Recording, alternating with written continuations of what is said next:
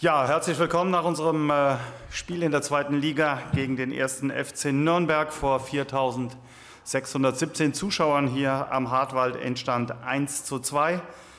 Ich darf die beiden Trainer hier begrüßen, den Gästetrainer Robert Klaus und unseren Trainer Alois Schwarz. Und äh, ja, wir beginnen mit dem Statement des Gästetrainers. Robert, bitteschön. Ja, hallo von meiner Seite. Willkommen. Ähm, natürlich sind wir glücklich ähm, über den Sieg, ähm, gerade wenn er so zustande kommt in der Nachspielzeit. Ähm, sind, wir, sind wir natürlich happy, aber ähm, wir müssen sagen, dass wir kein gutes Spiel gemacht haben. Ähm, Kompliment an Sandhausen wie sie es gemacht haben. Ähm, sie haben es uns extrem schwer gemacht, hatten immer wieder ihre Umschaltmomente ähm, und ihre Standards, wo sie sehr gefährlich waren ähm, und wo wir einfach auch mit Christian Martini heute den Spieler auf dem Platz hatten, der uns im Spiel gehalten hat. Das war nicht gut, was wir bis zur 70. Minute gemacht haben.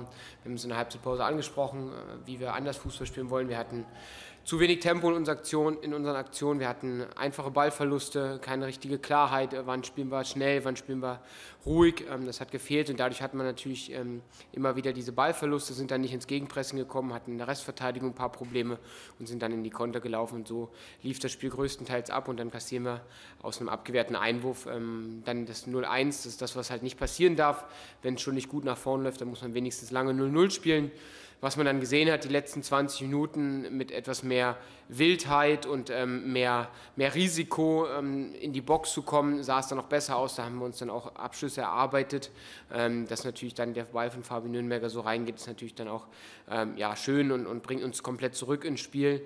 Ähm, dann waren wir die letzten 10 Minuten am Drücker und trotzdem es ist in Summe ein glücklicher Sieg, ähm, den wir heute einfach mal so gern mitnehmen. Vielen Dank.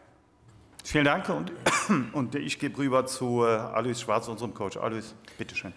Ja, ich hätte ihn auch gern mitgenommen und wir waren auch nah dran. Ich denke, nach der Situation, die wir jetzt äh, die ganze Zeit hatten mit der Corona-Geschichte, sind wir äh, sehr gut ins Spiel reingekommen, haben ein gutes Spiel gemacht, haben dem, äh, dem Gegner das Leben schwer gemacht. Äh, das Spiel wurde vom Gegner langsam. Wir konnten immer wieder den Gegner gut stellen und hatten unsere Umschaltmomente wenn man die erste Halbzeit sieht, da müssen wir schon auf jeden Fall mal ein Tor auch machen. Ja, wir hatten da genug Möglichkeiten, um ein Tor zu machen. Der Gegner hatte außer zwei Abschlüsse, glaube ich, äh, nichts in der ersten Hälfte.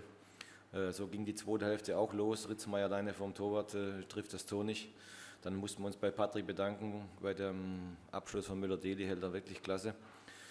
Ja, und dann machen wir das Tor und dann kommt aber das, was wahrscheinlich viele oder was ich mir im Hinterkopf schon gedacht habe, dass die Kraft einfach weniger wird. Äh, der Gegner kommt dann auf, wir sind nicht mehr so rausgekommen, haben nicht mehr diese Umschaltmomente gehabt. Nürnberger macht einen Sonntagsschuss und äh, bringt natürlich dann auch Nürnberg wieder in die Spur. Und letztendlich haben wir uns versucht zu retten und dass wir dann in der 93. so ein Tor kriegen.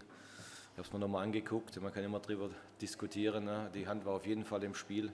Für mich verschafft sich der Gegner auch einen Vorteil dadurch, dass der Ball mit der Hand in eine ganz andere Richtung geht und äh, Schuranov abschließen kann. Aber anscheinend ist es äh, regeltechnisch richtig gewesen vom Schiri. Ja, vielen Dank. Wir kommen zu den Fragen. Das werde ich mit dem Kollegen Christian Bönig zusammen machen. Ich beginne mal. Klaus Weber von der Rhein-Neckar-Zeitung ähm, fragt nach der Verfassung der Spieler, ähm, inwiefern du auch denkst, dass gegen Ende die Konzentration und Kraft etwas gefehlt hat und in dem Zusammenhang, ähm, warum du so spät gewechselt hast? Also die Kraft hat mit Sicherheit ein bisschen nachgelassen. Äh, Erik äh, musste dann auch raus. Ähm, äh, trotzdem sind wir relativ gut gestanden. Der Gegner hatte eigentlich keine Möglichkeiten und da was dann hinten zu verändern, war mir jetzt in dem Moment ja, zu risikoreich. Kann immer natürlich nachdenken, dann äh, hätte es doch gemacht, hätte man vielleicht das Spiel über die, über die Zeit gebracht. Aber es hat eigentlich ganz gut funktioniert. Der Gegner hatte wenig Abschlüsse, fast keine. Und äh, dann, dass so ein Sonntagsschuss reingeht, das war ja, glaube ich, schon 84. Ja. Vielleicht ein Wort zur Enttäuschung, ähm, gerade auch nach dem Last-Minute-Tor und äh, ja, der Situation in der Kabine. Nochmal, ich hab's nicht gerade. Vielleicht noch ein Wort zu der Enttäuschung nach diesem Last-Minute-Tor und auch der ja, Stimmung in der Kabine. Oh ja, natürlich, dass die Stimmung nicht gut ist, ist klar. Wenn du äh, jetzt äh, 84 Minuten als Sieger schon auf, auf, dem Platz stehst und gehst dann mit leeren Händen nach Hause, ist es äh, bitter. Äh, ist uns jetzt schon ein paar Mal passiert. Wir gegen Bremen haben wir auch die Möglichkeiten gehabt, äh, das Spiel für uns früher zu entscheiden, kriegen in der 92. dann den Ausgleich. Äh, vor meiner Zeit war es in Hamburg, wo man eigentlich schon mit einem Punkt nach Hause hätte fahren können, kriegt dann in der 92. ein 1 zu 2. Ist natürlich, immer, ist natürlich immer bitter, wenn man so spät so ein, so, so ein Tor bekommt, aber Jammer hilft nicht, Köpfe hoch, es geht bald weiter. Ja, da kommen wir nachher noch zu. Christian, bitteschön. Auch von mir erstmal einen schönen guten Abend. Wir fangen an mit Wolfgang Glas von der Nürnberger Zeitung. An dich, Robert, ein Satz zu Fabian Nürnberger, der nicht nur wegen seines Tores maßgeblich verantwortlich war für die Wende.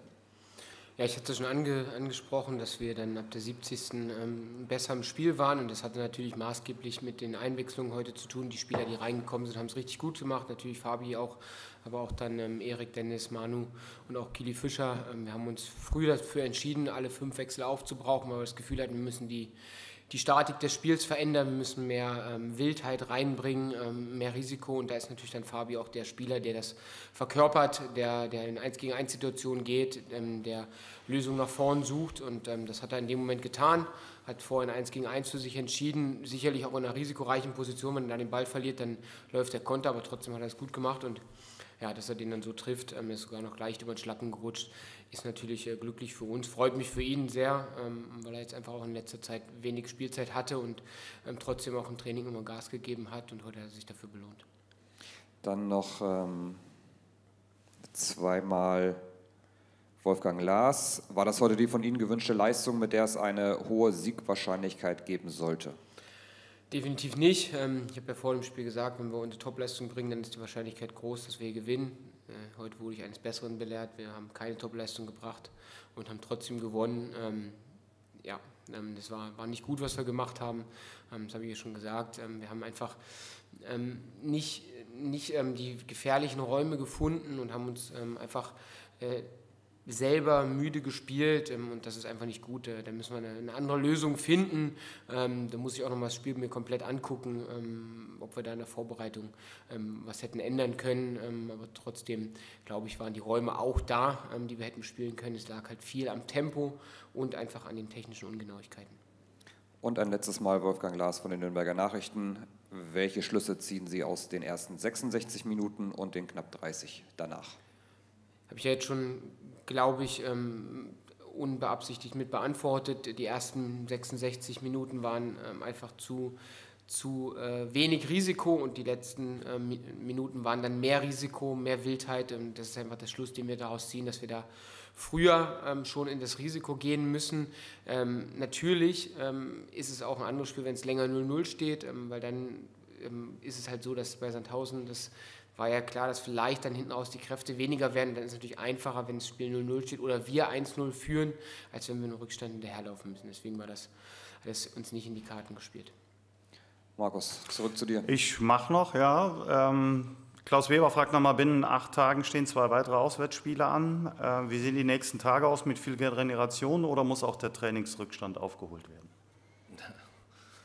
Erstmal müssen wir auf jeden Fall regenerieren. Äh, das ist ganz wichtig, der Körper, aber auch der Geist. Und äh, da wird es, äh, kann man diese Woche nichts nachholen. Gut, das war es schon von unserer Seite dann. Christian nochmal. Gut, dann machen wir weiter mit Marco Werzinger von der Bild. Gegen Bremen verlor ihre Mannschaft in den letzten zehn Minuten. Heute lief es genau umgekehrt. Welche Auswirkungen kann ein, solcher, ein solch später Sieg auf Ihr Team haben?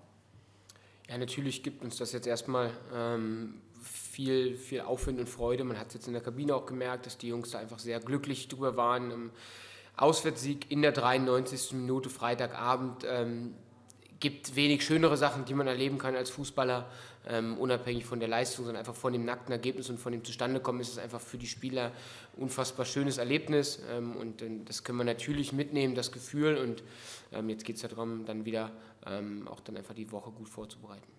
Zwei Fragen noch von Marco Werzinger. Lange entwickelte Ihre Mannschaft kaum Torgefahr. Warum hatten Sie zunächst auf einen Stoßstürmer verzichtet? Ja, weil wir wussten, dass Sandhausen hinten sehr, sehr tief steht und auch ähm, einfach sehr robuste und körperlich präsente Innenverteidiger plus davor Sechser auch hat. Ähm, und da wollten wir einfach mit ja, vielen Spielern, die um den Strafraum herum für Torgefahr sorgen können, aus der zweiten Ebene, die gut am Ball sind, ähm, die dann auch in den Zwischenräumen sich dann immer wieder auch diesen, dieser direkten Deckung entziehen können, ähm, spielen, ähm, weil wir halt äh, wussten, dass wir dann auch ähm, ja, von, mit Flanken eh nicht so viel Erfolg am Anfang haben werden, sondern es ist dann eher dieser Moment, wenn wir hinten raus nochmal drücken, so wie es dann am Ende auch war, dass wir uns das dann für später aufgehoben haben, dann die Stoßstürmer vorne reinzubringen. Und die letzte Frage, musste Tom Kraus wegen einer Verletzung runter? Es ist wohl keine Verletzung, der Muskel hat zugemacht. Ähm, ähm, es war kurz vor dem Krampf und kurz vor, einem, ja, vor einer muskulären Sache, aber ähm, so wie ich es jetzt auch gemerkt habe, kann er Kraft entwickeln, anspannen, aber der werden wir einfach morgen nochmal untersuchen. Aber er kennt seinen Körper und hat dann einfach Signal gegeben, dass es, dass es jetzt an der Zeit ist. Gut, von uns auch keine weiteren Fragen, Markus. Dann vielen Dank. Euch eine gute Heimreise. Für uns geht es weiter am kommenden Mittwoch. Dann sind wir beim FC St. Pauli um 18.30 Uhr zu Gast. Bis dahin, gesund bleiben. Dankeschön. Tschüss.